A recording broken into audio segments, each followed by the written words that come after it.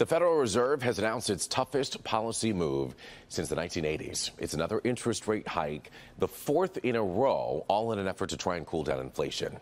The goal here is to make short term pain in hopes of long term gain. And joining us this morning to talk about it all is our good friend David Hall. You know him, he's from Hall Financial. First of all, thanks for waking up early with us this morning. Hey, it's great to be with you. And, uh, you know, I'm a big fan of the show. I know that you're a big fan of winter. So it's your time of year right now. Uh, yeah, I guess so.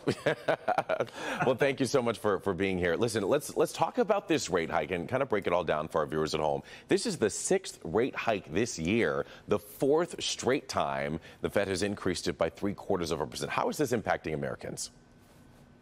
Well, it's, it's unprecedented. And yesterday, Jerome Powell, the, the Fed uh, chief, he he sent a very clear signal, and he basically said that I'm not worried about a recession. I'm not worried about anything else. I have to tame inflation, and the one device that the Fed has to tame inflation is to keep continue to ratchet up rates. Mm. And so you're going to continue to see them move rates up, which is causing you know credit card interest rates to be at the highs of decades. The average credit card rate right now is at 19%.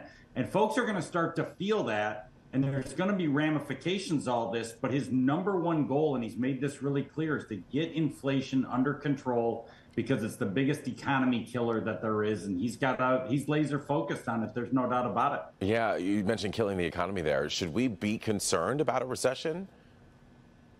Yes, very concerned.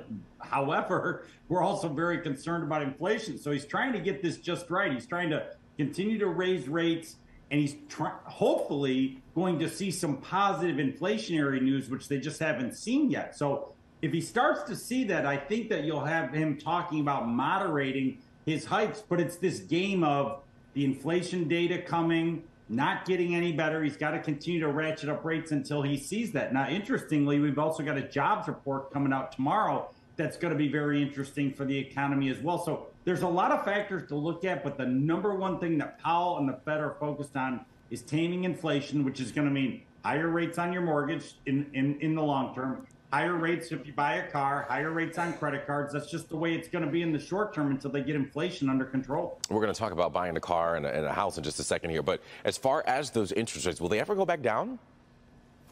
Yes, I think they will. And typically in a recessionary environment, which a lot of folks think we're heading to as soon as maybe next year, you will see rates start to come down. So it's hmm. this push pull where there's a very volatile market. I mean, yesterday, I think the Dow was up uh, three or 400 points. And when Powell made his announcement, it quickly reversed and went down 500. So we're seeing these very volatile times based on the fact that everybody's worried about inflation. And what Powell had to say yesterday, it was a market moving kind of a day. We're going to see what happens today, which, yeah. you know, we're all interested in. But I think that the most important thing that folks need to realize is that this isn't a permanent thing. It is somewhat temporary. Okay. Well, let's talk about the, the housing market real quick before I let you go. Uh, mortgage rates, they're increasing as well at an all time high, 7.46%.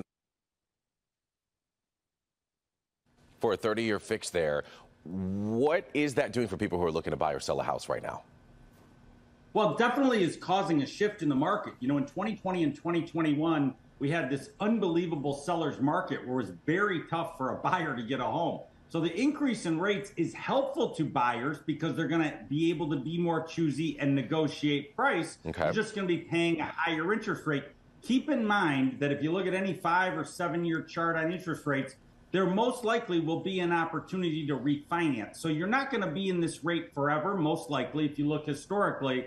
So if you're getting a higher rate now, but you're getting the house that you want, maybe a little discount on the price, it works out in the wash and you've got an opportunity to refinance in the future. So that's for folks that are looking to move right now. All right. Well, we know you'll continue to stay on top of it. David Hall with Hall Financial.